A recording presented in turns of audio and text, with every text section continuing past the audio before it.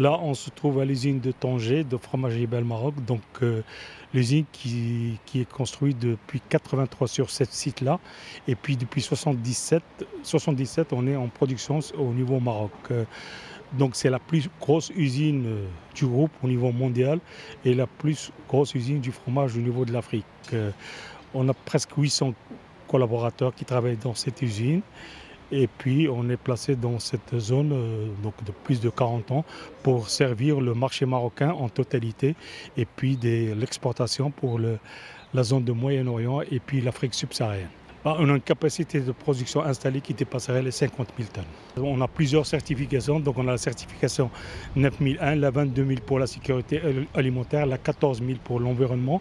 On était certifié OSAS pour la partie sécurité, mais maintenant on passe à la, à la ISO 45 000 de la sécurité. Et on est certifié aussi norme euh, conformité sociale. C'est une norme marocaine qui a été élaborée par le ministère de l'Industrie et le ministère d'Emploi. Et on, est, on était certifié en 2011 et est la première euh, industrie à être certifiée sur cette norme parce qu'il y avait juste une, euh, société de services qui était certifiée sur cette norme-là.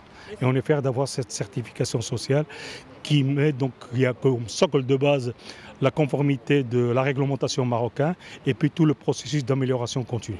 Donc là, bah, pratiquement, bah, on est présent sur tout le Maroc. On a vécu, donc, euh, malgré le fait de Covid, donc on a mis tous les moyens pour protéger nos personnels, mais en même temps pour garantir la continuité de business et servir tout le marché marocain parce qu'il y avait besoin aussi de servir toute la partie, la partie alimentaire dans cette période de Covid, de confinement. Donc on était présent partout pendant cette phase critique et on a pu aussi préserver nos collaborateurs qui étaient vraiment sains et saufs pendant toute la période de pandémie. Alors en premier lieu, ça fait euh, cinq semaines que j'ai pris mes fonctions au sein de l'usine. Alors j'ai un parcours chez Bell qui est relativement long puisque ça fait 25 ans que je travaille pour le groupe, euh, pour le groupe Bell.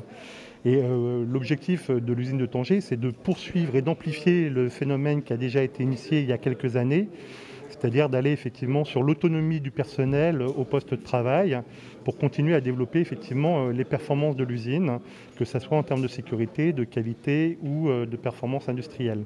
Il y, a, effectivement une ligne qui a été dédiée euh, pour des productions futures pour les États-Unis.